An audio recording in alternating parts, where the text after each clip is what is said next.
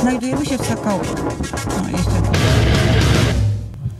Znajdujemy się w Sokołowsku, gdzie trwa czwarta edycja Międzynarodowego Festiwalu Sztuki Efemerycznej Konteksty.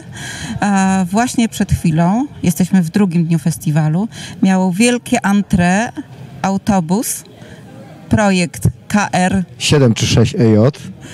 Piotra Lutyńskiego. Całe miasto rozbrzmiewało głosami Piotra, muzyki, instrumentów dziwnych. Do, do autobusu została zaproszona cała grupa e, uczestników festiwalu i ludzi przygodnych. Przejechali po Sokołowsku w poszukiwaniu. y, pozytywnego przekazu dla świata. I w gruncie rzeczy y, y, jechaliśmy, y, ten przekaz trwał już całą drogę i od 20 kilometrów przed Sokołowskiem już, e, przed Sokołowskiem 20 kilometrów już odbył się taki performance, ci- który zakończył się tutaj właściwie.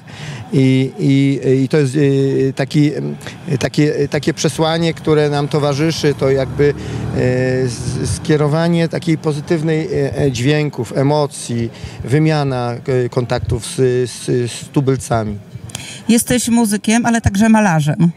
E, Jak to łączysz w tym projekcie? To jest jednorodne. Ja e, nie, nie rozróżnia, e, nie, praktycznie nie ma różnicy pomiędzy malarstwem, rzeźbą, a muzyką.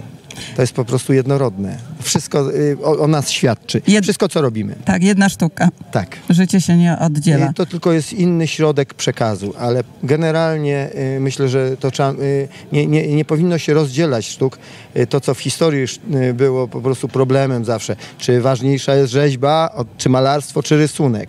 Ta ciągła, to ciągłe przeciąganie jest stratą energii. W sumie trzeba się skupić na tym, co to coś niesie, a nie w jaki sposób jest wykonany, e, jaką jest formą, czy to jest muzyczna, czy teatralna, czy e, performatywna, czy malarska.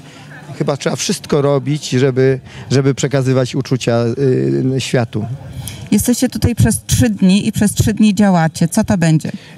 Dwa dni koncertów w przestrzeni miejskiej, a y, jeden pokaz y, w kinie y, z projekcją i muzyką z takiego performance'u, który powstał w Zatoce Puckiej w 2009 roku. Był poświęcony Tadeuszowi Kantorowi.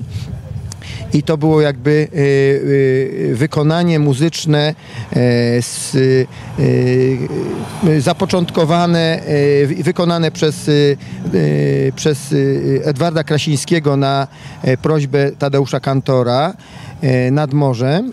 I e, ten performance e, jakby e, nie zakończył się dla mnie, bo uznałem go za najważniejszy, jaki widziałem w ogóle w życiu.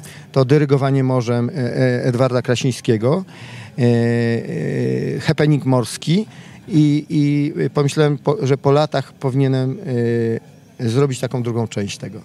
I jest takie wykonanie, które, e, które pokażemy, film z tego e, pokażemy i będziemy e, jeszcze dogrywać. Dzisiaj mieliśmy bardzo pyszny przedsmak waszych działań i liczymy na ciąg dalszy. No.